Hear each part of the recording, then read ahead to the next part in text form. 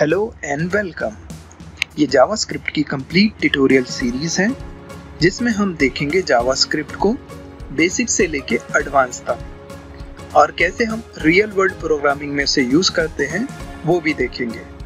तो ये एक बहुत हेल्पफुल सीरीज़ रहने वाली है, अगर आप अपना करियर जावास्क्रिप्ट में बनाना चाहते हैं तो।